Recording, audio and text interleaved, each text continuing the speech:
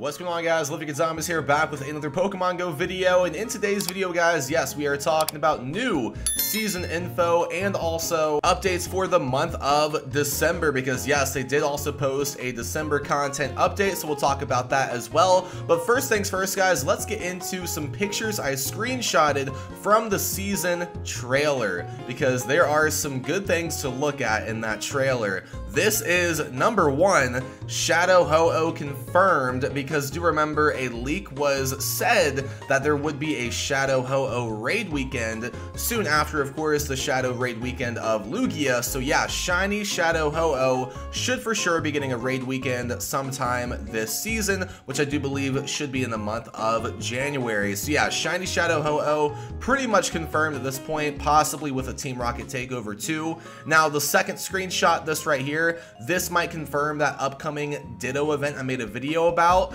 uh, where it was confused if there would be a Kanto Tour Classic event. Uh, but again, that's not going to happen. It's going to be a mini Ditto event, which I think it's going to be like three, four days long. We'll talk about that here soon. And also this screenshot right here, Dr. Pikachu finally shown in a trailer, so this will be dropping sometime this season as well, so I'm super excited for that upcoming costumed Pikachu. So yeah, very, very happy about that. So yeah, now that we got those screenshots out the way, guys, let's go ahead and talk about what was posted on their new season blog page. So if you are waiting for Sinnoh Tour news, it is coming tomorrow morning. So yeah, they should be like confirming the origin form Dialga Palkia situation, all the new shinies featured, whether or not Arceus will be featured at the Sinnoh Tour, all of that should get confirmed tomorrow morning, and also they might confirm if there will be an in-person event in Los Angeles, California too, so stay tuned for that information tomorrow morning.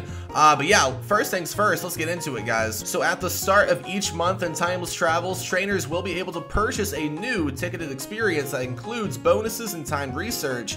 Throughout Timeless Travels, you will be able to come across Pokemon found in the Hisui region, so yeah, this season is primarily focused on the Hisui region and the Sinnoh region too, and stock up on items like incubators. So yeah, we do have some paid time research coming out every single month. So if you guys like that for, you know, bonuses or rewards or Pokemon encounters that will be featured at the start of every month, do remember upcoming C-Days. I'm going to make a video about this soon after this video. There will be a catch-up C-Day on December 16th and 17th. I'll make a video about that, like I said, here soon. Uh, and also January 6th should be the Rowlet C-Day, and the C-Day Classic on January 20th should be Porygon, and the C-Day on February 4th should be a Chansey C-Day. So we'll see if those leaks are correct, if of course Rowlet is the next C-Day for 2024. So what is new in the research breakthrough guys? Well the research breakthrough is pretty decent. It does feature three shiny boosted Pokemon, which are Lapras, Galar Weezing, and Galar Mr. Mime.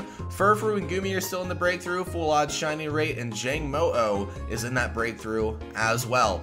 Now let's talk about the shakeup of the season spawns. So what is going to be spawning in the city biomes for Timeless Travels? We have Vulpix, Ampharos, Sneasel, Zigzagoon, Trubbish, Klink, and Nymble. Also for the forest biomes, we have Parasect, Alolan Exeggutor, Scyther, Combee, Dwebble, Passimian, and Smoliv. So we do still have some Gen 9 Pokemon spawning for next season too. Now for the mountains biome, you might find Alolan Geodude, Rhyhorn, Larvitar, Sableye, Bronzor, Roggenrola, and Drillbur.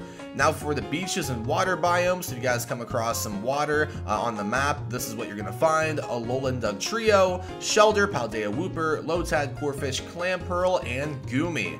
Now the Northern Hemisphere spawn exclusives are Beldum, Pidove, Foongus, Deerling, Winter, Chespin, Fennekin, and Froakie.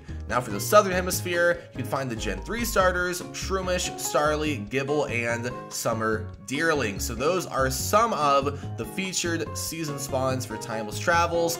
Uh, for the most part, pretty decent, not too bad. I'm to give you guys a first look at how good these season spawns are on Thursday in my live stream when I play in New Zealand, we'll see how good these spawns are. I'm hoping that they will be pretty good and at least a little better than this current season's featured spawns. Now, let's get into the egg hatches. So for 2Ks, we have Pichu, Tyrogue, Smoochum, Togepi, and Smoliv. Uh, to be honest, the 2K pool, pretty dang good. That is actually a pretty good pool. Now for the 5Ks, Elekid, Magby, Gen 9 starters, and Pawmi. So 5Ks are kind of mid, definitely not too great. Uh, the 7Ks, they did add Paldea Wooper to the mix alongside the Alolan Pokemon. I'm sure that the Galar Pokemon will still be in the 7Ks too, but they did put in the Paldea Wooper into those 7Ks. 10Ks, Dratini, Beldum, Carbink, and Frigibax eh, you know, not too great. There's a few other Pokemon in the 10Ks too, but those are some of the examples. Uh, for the Adventure Sync 5Ks, Cleffa, Riolu, Tirtouga, Archen, decent, I guess. Uh, Adventure Sync 10Ks, Bagon, Deino, Goomy, and Rockruff. Now, for the seasonal bonuses, trainers level 31 and above will receive one guaranteed XL candy when trading Pokemon, also one additional candy when trading Pokemon. Trainers level 31 and higher will have a higher chance to receive XL rare candy from in-person 5-star raids, and increase XP for 7-day Pokestop spin streak, and the same goes for increase XP in Stardust for a 7-day Pokemon catch streak too. So the bonuses decent, could be better, but yeah, pretty decent for the XL candy. So yeah, that was pretty much a summarization of the blog post posted on their website for the brand new season in terms of seasonal spawns and egg hashes. So yeah, all of that has been summarized. Now let's get into the December content update.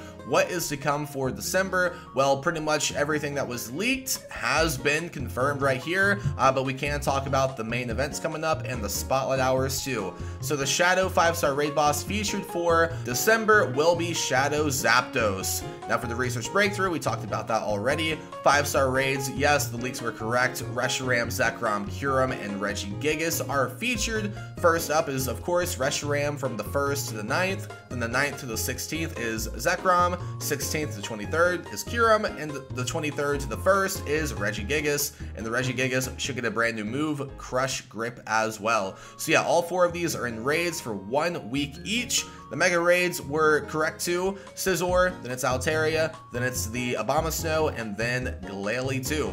Now for the Spotlight Hours, Feebas is the first Spotlight Hour of December. Do remember, Feebas is 1 in 64 shiny rate, so you do have a very good chance of getting that shiny Feebas quite a few times from that Spotlight Hour. The second one will be Seel with two times Transfer Candy, and then on the 19th will be Snorunt, not bad, and the 26th will be Vanillite, which yes, Shiny Vanillite will be featured for part 2 of the holiday event. So yeah, that will be your best chance to go after the shiny ice cream cone. So yeah, I am pretty excited for that spotlight hour.